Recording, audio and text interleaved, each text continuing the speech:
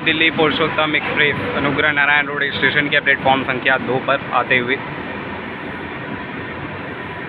जो कि दीनदयाल उपाध्याय कानपुर सेंट्रल के रास्ते नई दिल्ली को जाएगी।